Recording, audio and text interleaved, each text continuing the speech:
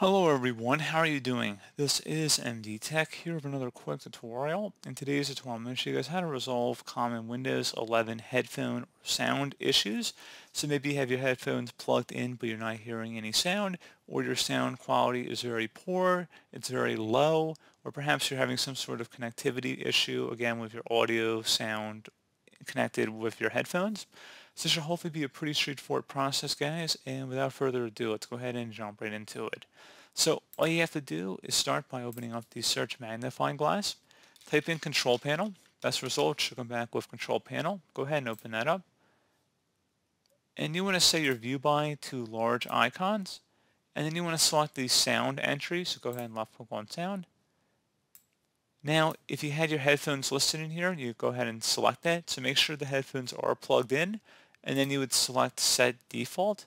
So again, you would select it and then select the select default button. And then assuming you were able to locate the headphones on this list, and we'll go over a method if you're unable to, but that'll be a little bit later in this tutorial, would be to open up properties. Again, this is assuming you have the headphones in here and you're able to access it. And you'll select the Advanced tab. You want to click inside this drop down underneath Default Format. Now you can play around with this here a little bit. You can adjust to see if you're able to pick it up. Generally, I probably would start at the one of the furthest end of the list here, the 24-bit 92,000 hertz studio quality, and then work your way up down the list, or I guess you could say up the list, basically.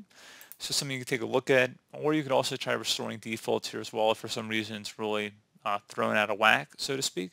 So you could try restoring it to default, see if that resolves the problem, and then actually start adjusting the default format here.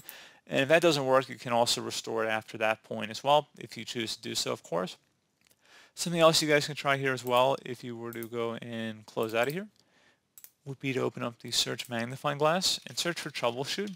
Best match should take troubleshoot settings. Go ahead and open that up. Select other troubleshooters. And now you want to go underneath most frequent and select playing audio. Select the run button next to that.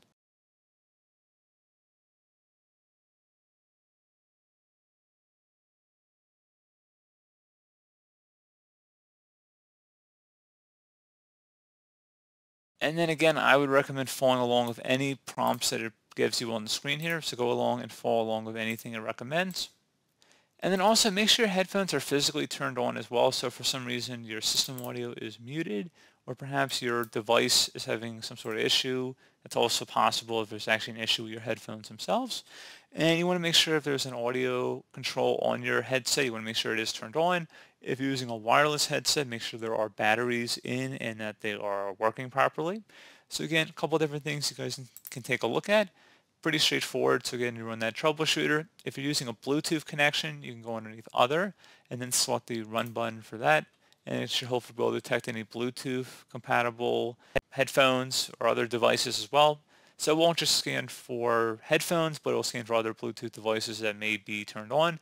So make sure your headset is turned on and connected to your computer. If you have a little USB stick that plugs into one of the USB ports to sync everything up, make sure that's turned on. You can see it did actually repair something here.